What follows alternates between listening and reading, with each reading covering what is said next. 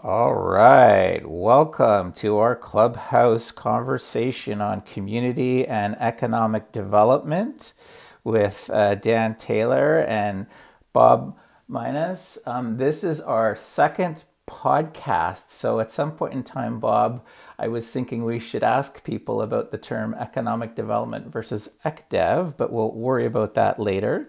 That's uh, an internal debate you and I are having, yes. Yeah, so I'm going to turn it over to you, Bob, to kick off, kick off the meeting. And I just want to remind everybody that uh, we are recording this and we're going to turn it into a podcast. And I will do my best to share the podcast with everybody on the call today.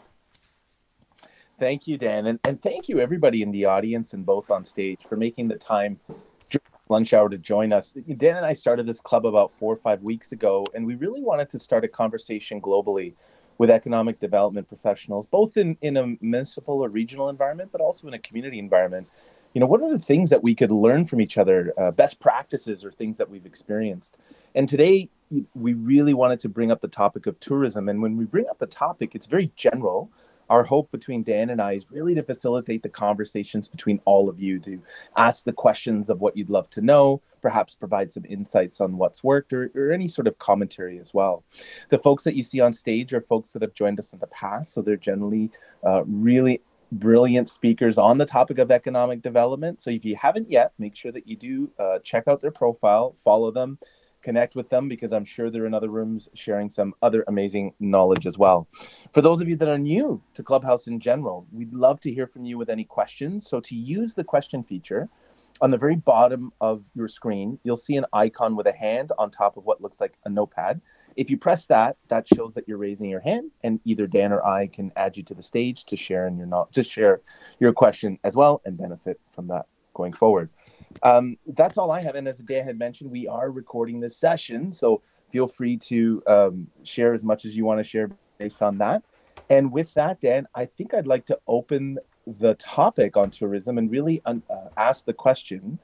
Uh, and maybe, Carrie, I'll, I'll, I'll talk with you because you've had both economic development experience and cultural experience you know, when we look at everything that's happened in our world over the last year, I, I believe it's I believe this is the one year anniversary today of when we went into lockdown in Ontario. Mm, I'm curious to know, Carrie, what do you see moving forward for tourism? Do you feel like we're simply going to recover to where we were, or do you see some augmentation and innovation happening in the arena? Sorry, are you talking to Carrie King? I just want to make sure oh, it's me because yeah, we've also sorry. got Brandon on the call and he's our specialist. Carrie with an I is what I meant to say. Sorry. So that's me, right? well, I was really lucky um, to have spent a decade of my career as um, an economic developer and working uh, for Durham Tourism. And now uh, tourism's run by Kristen and Brandon, uh, Brandon, who's on the call. But I think, you know, so much has changed, particularly around events and event um, production was a huge piece of what brought tourism in into durham region. Uh, i think you know sport tourism being uh, one of the largest um, parts of the sector and i know don terry who's been he's on the call as well which um, he's done a lot of work um, helping to attract sport tourism to durham region. Um, so i think that's you know one of the biggest challenges um, we we had um, the Ontario Lacrosse Festival, which brings in you know huge dollars and huge numbers. Um, so it's it's trying to look at how we can um, how we can move forward with tourism, um, you know, amidst the pandemic that we have. I know for me now running uh, a public art gallery, Station Gallery, um, it's it's challenging because for us as well, um, our our tourism component being around culture has been producing um, special events, um, summer and like summer concert series or other events that involve bringing a lot of people together and and fundraising in that way. And now that's just not possible. It's been a big part of our, our revenue generation piece. So um, i would love to be able to work with this brilliant group of people that you've put together and congratulations on that to try to address um, event event-based tourism and cultural tourism um, as a discussion point. Really great thoughts. Thank you, Carrie with an I. Carrie King, Brandon, do you mind if I include you in the conversation with your experience and, and the time that you've had in tourism? Uh, do you have any comments to add, what you're seeing as well? Brandon might be looking for his mute button. There we go. Hello. That's okay. Hey everyone. I am uh, I'm actually en route. I'm just pulling into regional headquarters, passing by the town of Whitby um, for one of my, I guess, few trips into the office. Um, but it's an interesting it's an interesting topic, and Carrie brings up a lot of good points where we, as a as a region, we've really heavily relied on sport tourism um, and event-based activities to kind of drive overnight occupancy within our accommodation providers, and and I think we're getting to that point where we're seeing sport is really coming back. I'm pulling into a parking structure, so if you lose me, I our tourism van in for an oil change, even though it's sat in a parking garage for three months. But um, we're seeing these events start to come back, working with event organizers across different levels, um, working with the Oshawa Generals on a Memorial Cup. There's there's a lot of things that are happening and events that want to come back. And this morning, the provincial government announced more funding for the Reconnect festivals uh, and event funding to help get Ontario back on track. And so I, I think there's no shortage of event organizers that want to run, but it's getting the lead time uh, to be able to organize, get funding in place, get staffing in place, ensure you're following all these safety protocols um, and getting ready to kind of open back up. So I think we're starting to see events come back online. And I think what you're going to see, and one of the things that I'll, I'll really commend Don Terry and, and Lori Talling on our team on the sports side is sport tourism for Durham region has not always been about, you know, just bringing in big tournaments, heads and beds, uh, lather, rinse, repeat. It's really been about driving home the value or the experience that we can have and making sure that if you're coming in for the Ontario Lacrosse Festival over 10 days, that you're not just coming in for a tournament you're coming in for an experience. And so we like to work on these value add programs that um, you know really reflect well on us as a destination. And we leave that kind of mem- really leaving positive memories with the athletes. And and i'll kind of give our hat a tip um, on winning a national award uh, for the 2019 Durham Region Ontario Parasport Games that won the Canadian Sport Event of the, of the Year with a budget under 1 million. So I think that's where we need to go as destinations and event organizers is what experience are you going to offer me to make it worth my time to kind of come back outside after COVID? Really great thoughts there. Thank you, Brandon. I, I'm curious to know, and, and I'm going to throw this one to Dan as well. Um, when you're considering all of these options or these abilities to, to reinvigorate tourism, if you will, in these communities, do you find, uh, Dan and Brandon especially, that there's a distinction between your urban centers and your rural centers and how this is being built out? Do you find that it's a bit more of a struggle for rural? Dan, what do you think? Well, Bob, you know, I have I have a bit of a question too. So, oh, yeah, sorry. Yeah, uh, so uh, without fully understanding, you know, different communities' resources, usually resources are are less in rural areas.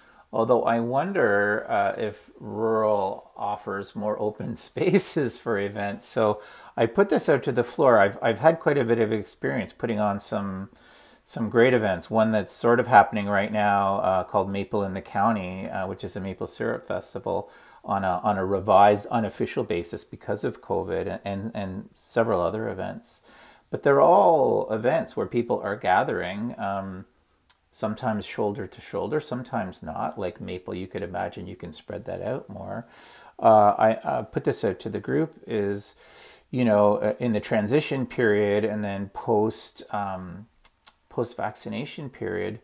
Uh, how are people imagining like events with safety protocols and you know with probably some form of restriction on on people or proximity? I'm I'm really curious to hear what the thoughts are out there. I think I think the first person I'd love to draw in is Carrie King. Given that you have a gallery, Carrie, are you uh, are you considering this a concern you? Dan's question. Yes, well, yeah, it's been it's been something I've been waiting on, and I was kind of looking to Maria, who's kind of a little more tapped in um, to um, the town. But for me, we're doing is building our plans right now virtually um, with the hope that if we go into Orange, that producing events on our patio this summer where we can perhaps have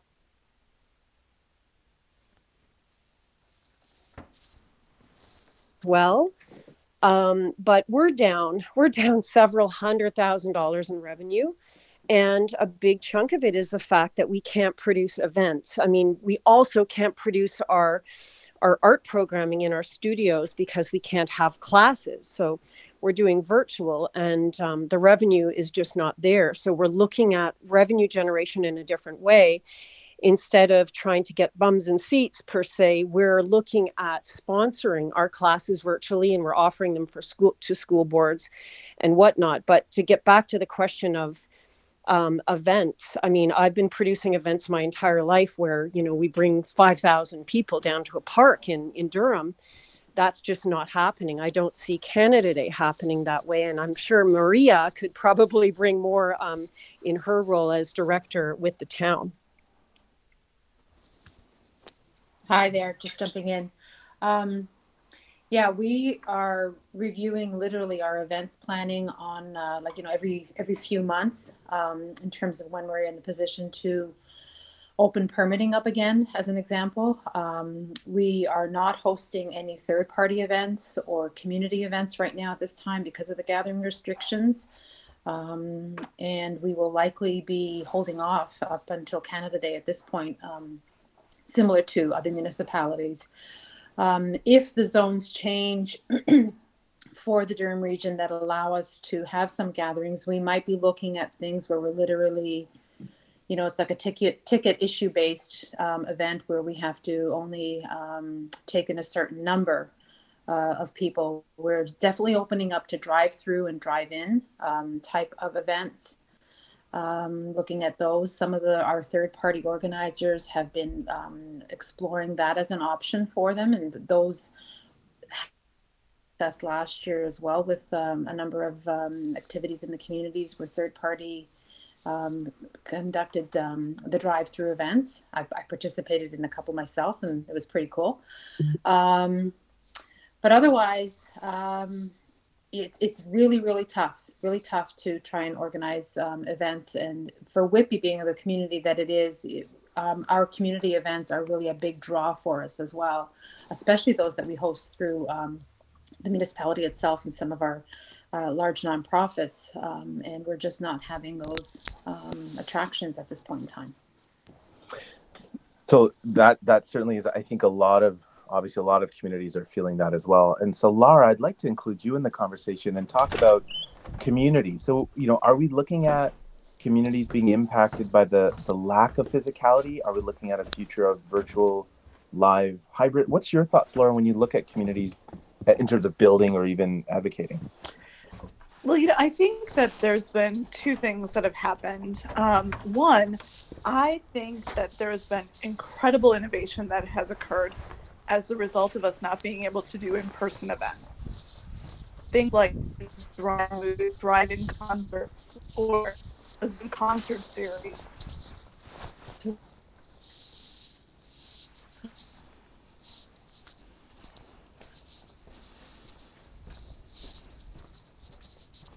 Fascinating. Um, and that innovation has really carried forward to not only the way that we are producing events, but also in the way that government is looking at the cultural um, economy. And for example, in Utah, they put together a $3 million fund to help support organizations that produce that. Not that those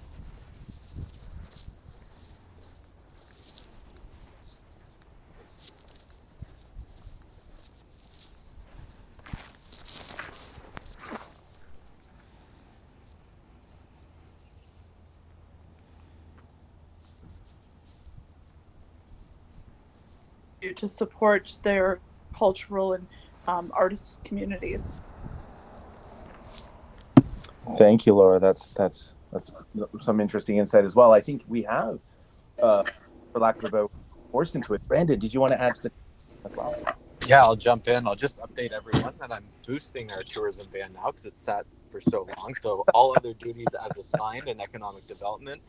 Um, but it's an interesting point on the urban and rural mix and as a region, we've actually just hired, uh, we moved Kristen, who's on our team, Uh, she just started a new role at basically the start of COVID around this time last year, um, in a new tourism role that focuses only on our northern, uh, our three northern municipalities, being Uxbridge, Scugog, um, which you may be more familiar with Port Perry, and Brock Township, which covers Beaverton, Sunderland, and Cannington um, to help support. There's a lot of interest to grow tourism, whether it be through wayfinding signage, new business attraction. There's a lot of farm to table agriculture um, operators within the region. And so the region's taken the stand that we want to be there to support these municipalities with some hands and, hands and boots on the ground to get those things done. Um, and then similarly, being able to work with our urban municipalities like the, the town of Whitby and their culture plan and, and elevating. Um, we were on a great call with the city of Oshawa this morning about a troubadour series, um, which launched last year in the city of Oshawa with um, outdoor music taking place at a number of venues downtown. We're looking to grow that program right across the region. And, and so it kind of um, gets us back into that hosting, that cultural music, downtown revitalization, and, and all of those pieces from a, a quality of life and, and, great places to live come in, where um, you position the messaging now for residents to one discover their their downtown or a new downtown in, in their neighborhood.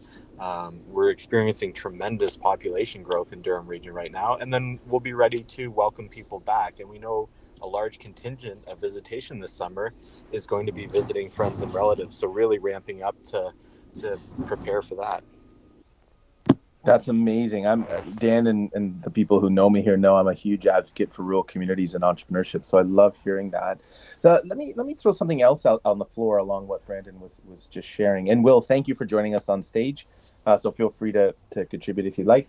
Um, I'd love to sort of ask this question around um, especially in 2020, we've really looked at this model of staycation. How are we creating more local tourism as opposed to inviting people from outside communities in?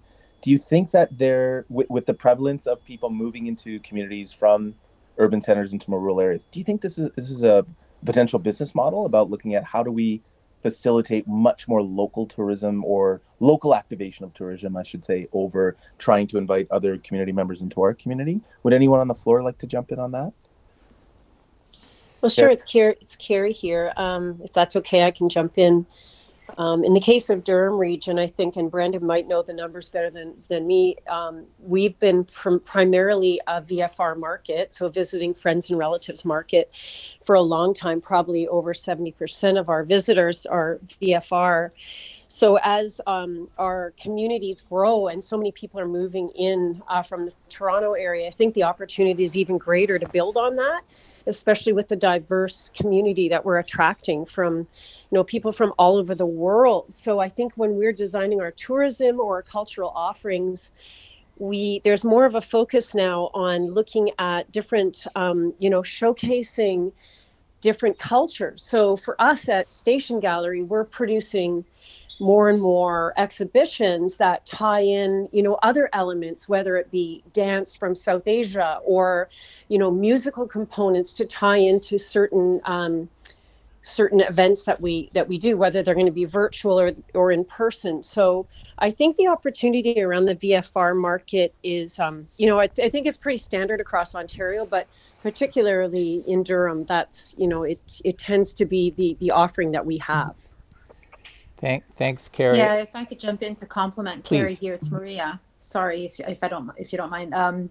I know that Carrie's working really closely with our tourism lead over at the town of Whitby. Um, everything that we did in the culture plan and now moving into uh, developing our tourism strategy and working with our partners is all about actually we're really going to leverage the whole staycation concept quite significantly um, because we realize um, you know the limitations are still going to be around for a while um, restrictions may lift a little bit, but people are really, you know, we're we are all itching to experience um, life and culture and community again, um, and all of those pieces have an economic development component as well. So um, that's a big piece of some of the things that we're Whitby will be working on and leveraging our our local strengths and assets, our culinary, our microbreweries, our art community. Um, we have a lot going on here that our culture plan was really able to dig out and we're going to be leveraging those pieces from for that staycation purpose. Thanks, uh, Maria and Carrie. I want to uh, point out a couple things. One, I'm not sure if it's an Ontario or a Canadian definition, but tourism is defined as people coming from uh, just outside a 40 kilometer radius. So this whole idea of staycation uh, fits in perfectly, you know, with um, with that definition, and also local people. The other thing, unless you're like a major center, say like a you know a Toronto or a Montreal or what have you, um, which are in in good times easier to attract. Uh, you know, from away, smaller areas and lesser known areas, uh, that's really where the gravy is, right? Is with your your local population, your regional population, and you know, good news, bad news. I think the good news is with COVID, is people have disposable income, and our our speakers have indicated that they are itching to get out and do things. So I think if we're able to provide those experiences and the safety, I suspect there's an almost, you know, insatiable appetite over the next 6, 12, 18 months to get it experience whatever people can package. So I just put that out there for the group. Wonderful, Dan. And Don, thank you for joining us on stage. I'm sure you have something to contribute. I just wanted to take a second really quick and reset the room. I know that we've had some new folks joining us, and then I'm going to throw it over to Don. Welcome for those of you that have just joined us. We are talking today about tourism as it relates to economic development and more specifically, what does tourism look like in 2021 and, and going forward? Just a heads up, uh, we are actually recording this room for a podcast. So just so you know, if you're going to contribute, it will be there. And if you're in the audience and have a question, and this is your first time here on Clubhouse, there's an icon on the bottom that looks like a hand with a, a notepad. Pressing that essentially raises your hand, and we'd love to invite you on stage to sort of hear what thoughts or shares that you might have as well. And then, of course, if you're really getting a lot of value in this room, please look at that plus symbol and invite any of your associates that you might know that would learn, that would love to learn any of the things that we're sharing here, or maybe even contribute to it as well. And then, of course, finally, our speakers on stage are all amazing, brilliant people in economic development. If you haven't already, be sure that you're following them and connecting with them because I'm sure they're all around Clubhouse, uh, disseminating knowledge uh, in an amazing way. So, with that, Don, can I throw it to you to add to the conversation here? Well, thank you very much, Bob, and my apologies for for joining late. I had a previous engagement, but um, I love this group and, and happy to be part of it. One of the things that we're doing in the town of Ajax is really ramping up identification of the tourism assets that we do have, and then creating an awareness amongst our own residents of all of the assets that we have here because we really feel that there's a underappreciation amongst our own citizenry um, in the town of Ajax in the region about all that we do have to offer. And then we'll be undertaking promoting those opportunities for hyperlocal tourism. Wonderful. That's that's definitely good to hear. And I think we have a lot of contributors here from from Durham. So it sounds like Durham is really active in in facilitating what that tourism looks like moving forward. Did anyone else want to add to the conversation as well? Or do we have any questions? Oh, Will, thank if you. I could just yeah, if yeah. I could just jump in there, Bob. Thanks uh, so much for inviting me on, and uh, great to have this conversation today. I think uh, so. I look after the tourism department here in the city of Merritt, uh, three hours north of Vancouver. We have a population of about 7,000 people, and on average, we're right along the highway, and we see about uh, 10,000 people on uh, the Coquihalla Highway uh, on average per day. So we rely quite a bit on uh, tourists that are coming through, but uh, something that I wanted to share with the group is we're taking this time right now as a rural community uh, to focus on the infrastructure for our uh, tourism businesses, but also on the planning stage. So uh, we launched a mobile kiosk to make sure that our tourism activities aren't just focused on the bricks and mortar buildings that we have. And right now we're leaning quite heavy into attracting those tourism businesses uh, completing a tourism asset inventory to show exactly what we have and focusing on a sector profile, focusing on tourism, because we have seen quite a few of our local tourism businesses around the uh, equipment rental, bike bike rental, um, you know, in summer, snowshoe, uh, cross country ski, everything like that, uh, flourish during this time. And uh, we want to build on that. We want to build clusters around tourism and uh, really build on the funding that we're seeing become available at our regional level and provincial level. So I just want to say thank you for uh, inviting me to the call and uh, share what we're what we're doing. And uh, I look forward to hearing what uh, everyone else around the room is uh, working on as well. There. Thanks. Thank you. Yeah.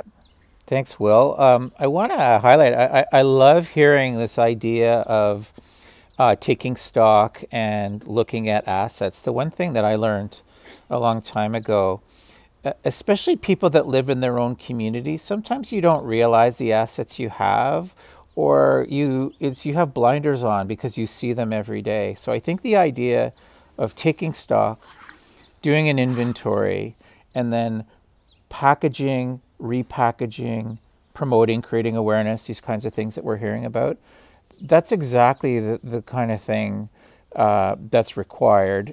It's it's I call it like it's product development and market readiness. And, and that's how you grow your market. That's how you grow demand for your market is by getting uh, product out into the market and becoming market ready and then sharing that with your target market. So I, I, I love what I'm hearing both on the West Coast and uh, right down the highway in, in Durham. Thank you for sharing, everybody. Thank you, Dan, for adding that as well. Uh, I wanted to throw out a, a, fresh question to the stage and to the audience listening. You know, there's a there's sort of this a lot of talk around uh, what does tourism look like moving forward in terms of remoteness, uh, virtualness, etc. So, what I'd love to know is this: I know that in the work that Dan and I have done with entrepreneurs, we're constantly trying to cultivate local entrepreneurs to innovate. Um, I'm wondering if anyone would love to share their thoughts or ideas around how do we start asking our local communities to participate in the idea of tourism. Perhaps come up with some um, ideas that uh, people have never thought about. Perhaps I, I, just read this recent blog on a new app in the US, I believe, that encourages farmers to allow some of their farmland to be used for campsites. So, you know, and I'm sure that the economic developer and us can start thinking about, well, there's marketing that's great, but there's probably a lot of challenges there. But you know, that's that's one way of really looking to our local market to say, hey, we would love to reinvigorate tourism in our community who has ideas. Is anyone sort of participating in this opportunity of asking asking our local members? Brandon, would you like to? Yeah, I'll jump in on this one. And, and we've got a new cidery business in, in Uxbridge, Slabtown Cider. And they actually mentioned this type of program, I think last fall or last summer at some point, that they're joining a network of on farm accommodations where people can go and set up and they'll have a number of uh, campsites that are available and, and, facilities. But yeah, building out the um, kind of these short-term accommodation opportunities on the site of the farm. We've had a, a growing number of golf courses add accommodations or small cabins to um, their site. So we're definitely seeing an uptick in, in that type of growth in, in Durham region. Wonderful. Did anyone else want to add to that conversation or do we have any questions from the audience? I'm wondering, uh, Lara was talking a little bit about innovation. I don't know if she's got other examples or experiences she's seen out of the US or otherwise, but would love to hear what she's got to say. Well, thanks, Dan. Um, you know, I think there's been a number of examples of ways that organizations have innovated, especially those in the tourism industry. Um, you know, I think about the Downtown Richmond Association. Um, they have a large cultural event that takes place um, every year. And while they had to clearly not have it in person, um, they were able to take portions of it and put them online. Um, in downtown Milwaukee, Wisconsin, um, a group put together a concert on the top floor of a parking garage um, so that it was regulated where people had to pay to get into the parking garage, but then they could be part of the concert in their car.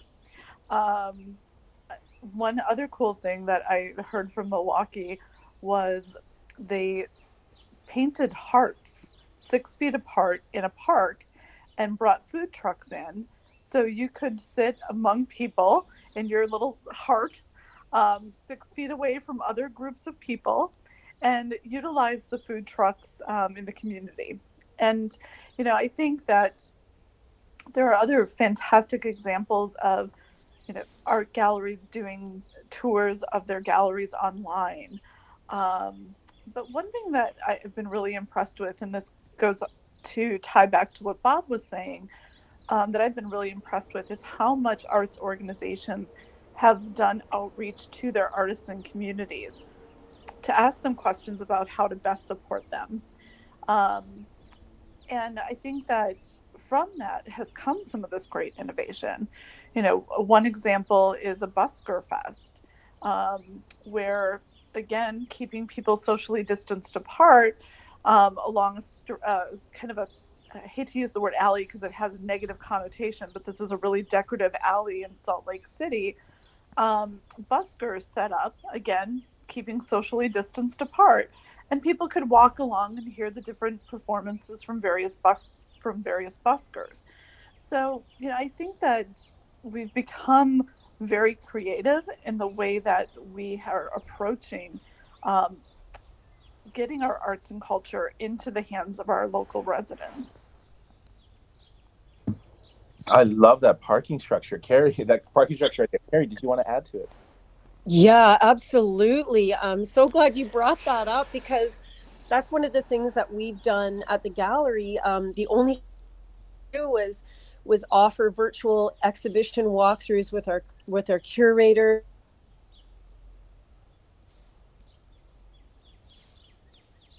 National Film Festival um, late last year to produce their to actually do a media event, which was um, done in association with Durham College, and it went really really well, and it was all done you know virtually, and and it worked out well. As a matter of fact, I have a meeting with them this afternoon to talk about other options, whether it be a drive-in sort of scenario.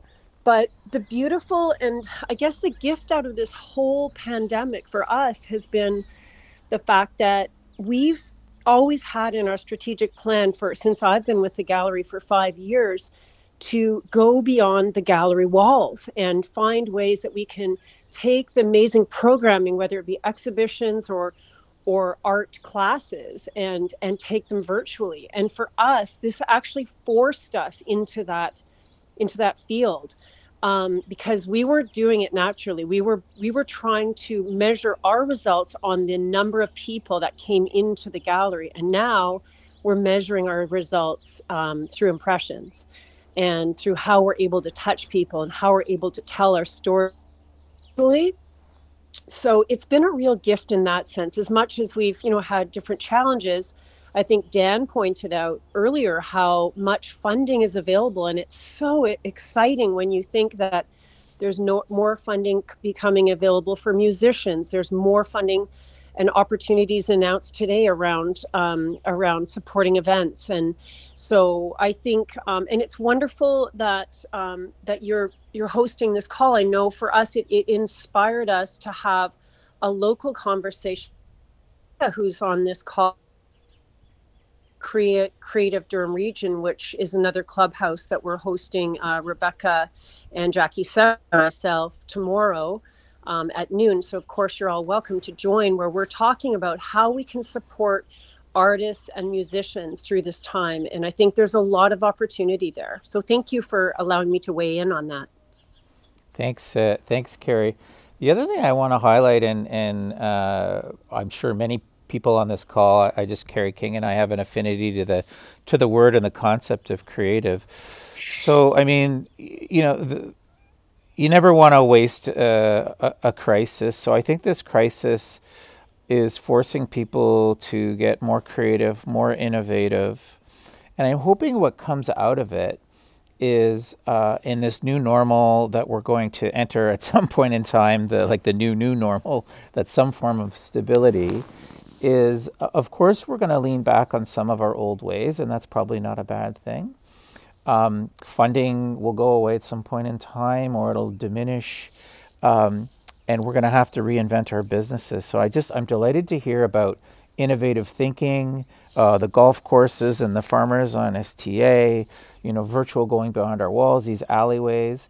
And I, I, I invite anybody else who, who's got any, um, who's, who's not up yet, who wants to speak or who's on our panel speaking, on sharing any other creative and innovative, you know, observations they've had or, or other ideas they've had. That's really the only way we're going to, um, I think, prosper and grow moving forward. So I just want to give kudos to our innovators and our creative thinkers.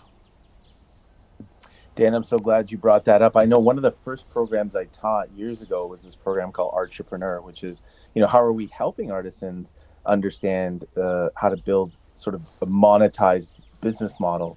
Because, you know, my experience with those in the artisan community is they do what they do because they love what they do. And when you try to, you know, sort of attach this price tag or this this exchange of cash, it, it can sometimes feel a little bit under uncomfortable or sullied so I think that I'm wondering if that leads us to our next question, and, and maybe we've answered it a little bit in the previous question, which is, you know, how are we addressing that skills gap? That understanding that these these folks that we know that are creative and amazing at what they do, you know, how are we helping them build that business model around what it is that they want to do? So more than just creating an amazing experience and reinvigorating tourism in our community, how do we make sure that that's a sustainable model?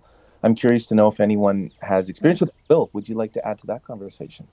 Yeah, thanks, Bob. I'll, I'll just share a recent example that we had. I think it comes down to looking at all age groups. What we um, recently have uh, focused in on is the youth in our community. So making sure that they're aware of entrepreneur opportunities. Uh, we have uh, it's it's very interesting, and I wrote down the uh, the art entrepreneur. Maybe you can send me something afterwards about that because I'm very curious about it. Uh, but we had some grant funding that we received to put into the hands of youth in our community to start their own businesses. And in the last two years, you know, I, I said previously we're a community of about 7,000 people. We've had 200 youth go through the program in the last two years to learn about entrepreneurship. So whether they're making products for the farmers market, whether they're making products for our Christmas uh, craft fairs that we have, or you know just doing uh, lawn maintenance businesses in the summer, I think it's very important to introduce our youth at a very young age to go into the schools uh, to provide that uh, education, work with our partners, and show them uh, that you know entrepreneurship is an option. Wonderful. Thank you, Will. Laura, did you want to add conversation? I, I do. Um, so in 2016, Mary Biskupski was elected to office in Salt Lake City, and she had a vision for shaking up the way the city had traditionally conducted economic development. And under the Department of Economic Development, she created, she put three divisions. So traditional business development, you know, recruit, retain, expand, help businesses get started. Then she put the Arts Council, which was a separate legal entity who the staff were city staff employees. Um, and she put the redevelopment agency. And when you sort of think about arts as part of economic development, it, it seemed strange as a traditional pure economic development person um, when she asked me to lead this new department. Um, I thought, well, that's interesting. I'm going to oversee an arts council. Never done that, have no experience, but let's go. And what ended up happening was just this amazing um, synergy between the business development team that was helping businesses get started, working with the Arts Council to educate future artists to become entrepreneurs, um, and then the redevelopment agency really helping to fund the city's public art collection that was curated by the Arts Council. And so what you ended up seeing was just this amazing um, synergy. And it was really fun to watch our staff begin to think about how do we include arts and culture in everything that we're doing as part of our economic development work. And I, am going to um, give them a lot of kudos. Felicia, Felicia Baca leads the Salt Lake City Arts Council, and she's done a couple of amazing things during this pandemic the first thing she did is she created an artist career empowerment grant program to encourage more artists to become career artisans. Um, but then she also created a racial equity and inclusion grant to look at ways that we can enhance the racial equity and inclusion um, for artists throughout the city of Salt Lake. So, um, you know, I just I think it was just a really interesting model for the way that we traditionally do economic development. Okay. Wonderful, thank you, Laura. Jimmy, thank you for Jim. Am I saying it right, Jimmy? Thank you for joining us on stage.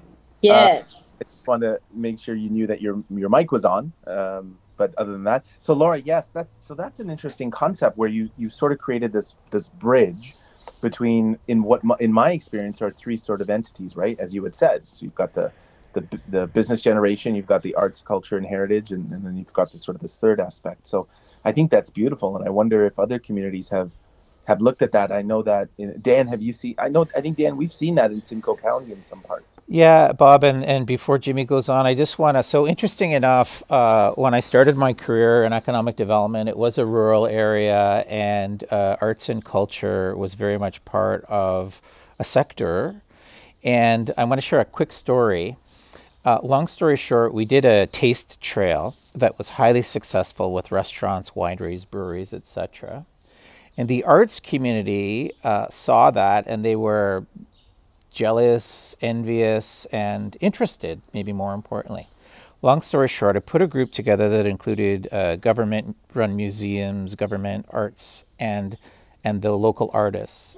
So at the end of the day, artists are usually uh, um, they're entrepreneurs. They are sole proprietors. They are small businesses, and so they're very much uh, part of the economy, especially in small rural areas.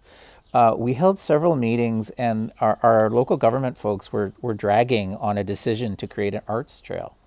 Long story short, I found myself negotiating what I call a coup, really a coup d'etat by the artists, saying, uh, government, if you don't hurry up, we're just going to kick you out and we're going to take over.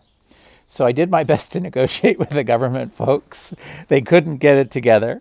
And we ended up launching an arts trail owned by, run by, motivated by the arts community. So they took the bull by the horns. They said, we can't wait anymore. This is too important. And we're going to go ahead and, and do it. So that's one of my favorite stories because I've never been um, in the middle of a coup d'etat between artists and government. Uh, fortunately, the, there was no guns drawn and no knives thrown, and it was a, a peaceful uh, overthrow. But that's definitely the next Leonardo DiCaprio movie, Dan. So thank you for sharing. Yeah, I think I think in some cases, and maybe Laura's experience, Laura's experiences as well, is sometimes you you do sort of have to take the initiative and ask for uh, forgiveness later. I just want to reset the room uh, really quick because I know we've had some new folks join us. Uh, just to remind folks that we're here today talking about tourism as it relates to economic development. I want to thank all of you. Uh, Dan and I both want to thank all of you for being here and contributing your time and your thoughts. the way the room works is if you're in the audience and you have a question or you'd like to share on stage, there's a little icon on the bottom that has a hand over a notepad. If you press that, that's a raised hand option. Dan and I can bring you up on stage. The room today is being recorded. We are going to share this on a podcast in the future, so do please be aware of that. And if you're hearing some amazing things here and you want to share it with your friends or you want your uh, associates or colleagues to be involved, the plus sign on the bottom will allow you to invite those in your network to come in and join us in on this conversation. We've still got another 18 minutes remaining on it. So we'd love to hear from them as well. And again, as I keep saying, we have some amazing knowledge leaders on stage when it comes to economic development. If you haven't yet, be sure to follow everyone you see on that stage. Be sure that you connect with them and, and, and be aware of what other rooms they're going to be in because there's some great knowledge being dispensed here. And finally, one thing I've forgotten in the last updates, Dan, which I apologize for, is if you hear something you really enjoy and you really like, if you uh, hit your mute button on and off, on and off, that represents clapping in a clubhouse room. So, if, yes, perfect. So, if, if that's something that you really resonate with, please feel free to show that to show love to the speaker as well. Um, we just had Jimmy join us on stage. And, Jimmy, I, I don't have a particular question to pose, but perhaps I can ask you a little bit more about your experience in economic development as it crosses over with tourism, perhaps? Um, sure. I have been an economic developer in rural Texas for about 17 years now. So in a small town, you kind of do it all. You know, you do economic development, and that isn't just uh, traditional economic development. It's a little bit of everything. So being involved in the tourism aspect, um, it, it, still crosses over into my area as well. Uh, we do have chamber a chamber of commerce, and so they do kind of the heavy lifting on that side. Um, but in our region of Texas, we belong to some regional organizations like the Texas Midwest Community Network, the Texas Forts Trails, and I'm, I'm very actively involved with those groups, and we kind of promote the whole region um, for tourism. Thank you, Jimmy. I love the idea of ecosystem partnerships. I think that's one thing in my term as an economic development officer, and I know Dan has got experience in that, is how are we building those ecosystems and partnerships. Durham is representing well in that respect here in this really wonderful. Awesome. Uh, Jimmy, I don't know if you know your mic is still on, but just wanted, but James, do you want to contribute as well? Yeah, well, speaking of ecosystems, so I mean, the wonderful thing about tourism, and then we've been drilling down into arts and culture. You know, you could argue in any community there is a mega uh, ecosystem and sub ecosystems, and then there's these regional or cross regional. The good thing about economic development and business and people is people don't necessarily recognize borders like governments do. And so um, there's a great opportunity for our communities to not only develop, we talked about uh, um, product development, market readiness, and awareness. And then this idea, you know, Durham region would probably be a good example of, you know, cross border slash cross regional promotion.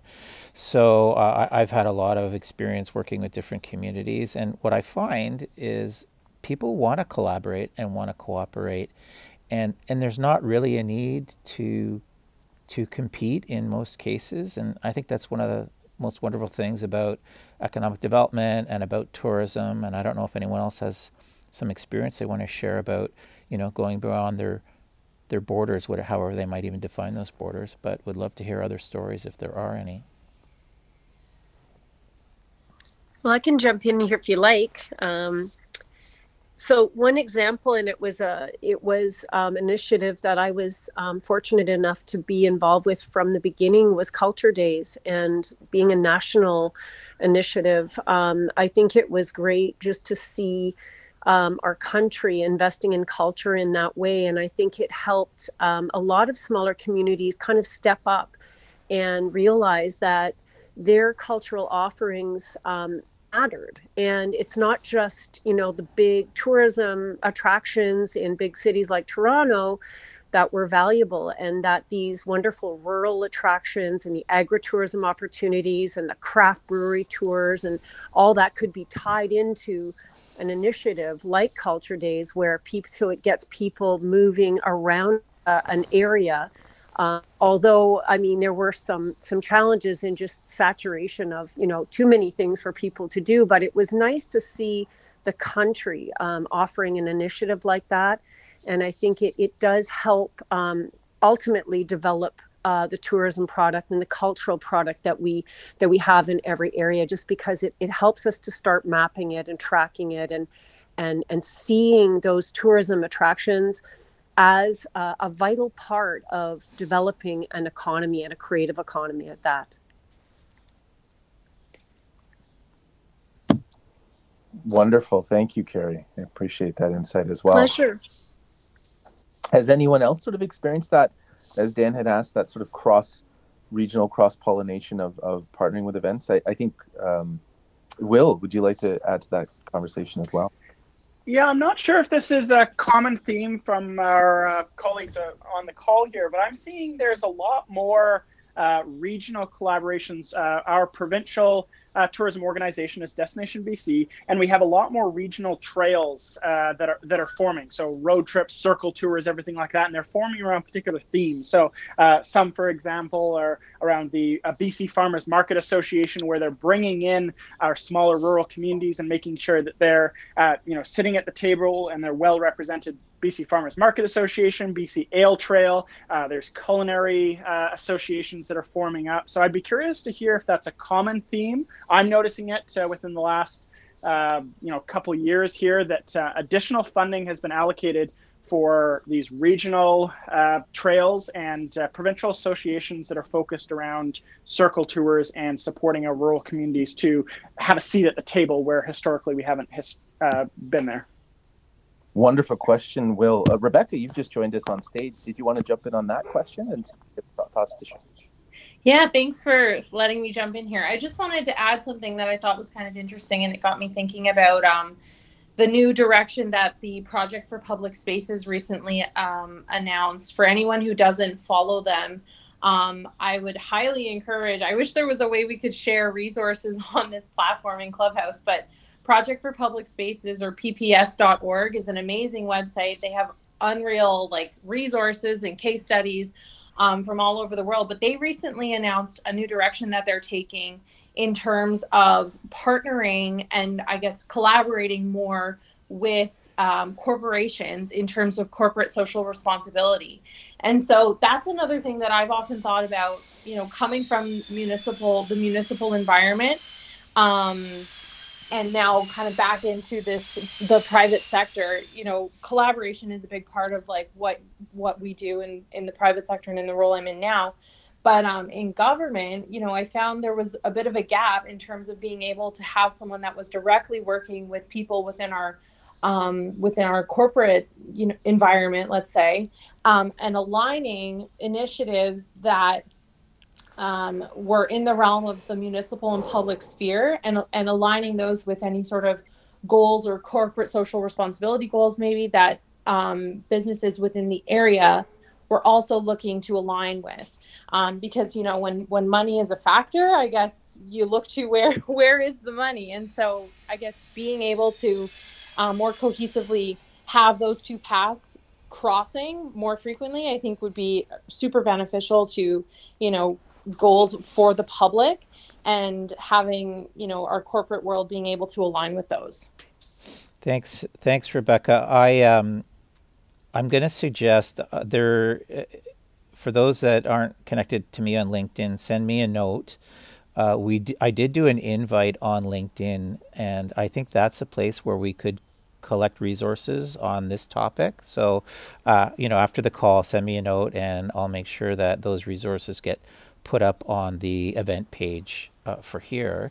The other thing that, you know, it's really interesting. When I first started in economic development, I came from both a, a corporate and an entrepreneurial uh, background. And, and the biggest thing I learned in my entrepreneurial background, right, was leveraging resources and partnerships and collaboration. So I don't know if that's a private sector thing, and I don't know. I, I, I think governments are pretty good at collaborating these days, but I know when I first started, it was a, a bit unusual. So I'm a huge proponent of leverage, right? And one of the best ways to leverage is to work with other people and to leverage each other's strengths and to collaborate. Uh, in fact, one of the things I used to do, uh, well, I still do it now, is I call it trial balloons. I'm never really afraid of competition uh, because I think ideas are only worth 10% and execution is worth 90%. So I often trial balloon things to get feedback. And I usually feel that if I'm doing that, A, I'm looking for collaboration and input. And B, I guess if people are going to steal your ideas, so be it. But you know, it takes a lot of effort to actually execute things. So I, I, uh, part of my collaboration is to give sneak peeks, let people know what I'm up to. Uh, often I'll find collaborators and very rarely, if ever, have I found that people kind of, you know, one up me on, on, on, on an idea I might have. Really great thoughts, Dan. Thank you for that. I also want to jump back to, to Will's point as well. Sort of this idea around, um, for lack of a better word, ecosystem meeting. So, Will, I wanted to to share some insight into what I've done in my past. Now, believe me, this is many of my tools from my rob and duplicate era, but there was a, I think they're still around. There's an agency uh, in York region that covers Simcoe County called Venture Lab. And Venture Lab really articulated this idea of having ecosystem meetings where the goal was you essentially, it's exactly everything you said, Will. You essentially invite all of these shareholders, but, you know, uh, contributors, thought makers, anyone that you can bring around the table. Venture Lab used to have it was so large, we used to have to steal table, uh, sorry, chairs from like the next office over. So it was such a really well attended meeting that as I moved into different economic development roles, I was always an advocate for this. So I can tell you we've done it in the past, and when we've done it, it wasn't specific. It wasn't industrially specific, meaning that it would have tourism and culture involved, economic development, business development. We'd even try and plan sorry, invite planners and obviously bylaw. The goal was how do we create sort of this harmonious communication as it relates to a specific goal, which is for all of us the betterment of our communities. That I, I, that's my humble definition of economic development. We all do it for the betterment of our communities. So I wanted to give you that, Will. And if you wanted to know more information, that sort of tied to the same group that came up with Entrepreneur. So I might want to connect you with that organization. They, they've obviously got some great ideas. Now they have new leadership, but the leadership they had had some really, really great ideas. that might help in a community like yours. Uh, and I will say that it was a really great way of engaging our rural centers. So in communities I've worked with, they've generally been fairly decent sized cities. So the, the question becomes how do we engage hamlets and towns? Ecosystem meetings were a great opportunity to do that. So I just wanted to add that to make sure that we added to Will's point. And yes, thank you, Rebecca and Dan, for for adding that to the conversation as well. So we are in our last six minutes here. I wanted to make sure that uh, we I reach out to everyone to see if they had any final thoughts on, you know, everything you've heard today. You know, the goal really is understanding where is tourism going to be. Uh, what are some things that we can look at? And Dan, can I start with you? I'd love for you to sort of help us sum everything up. Sure, and a couple things. If we could maybe wrap up a minute or so ahead of time, or at least I'm going to wrap the recording up a minute uh, or so. And if people want to stick around, that would be great. I have a hard stop at one.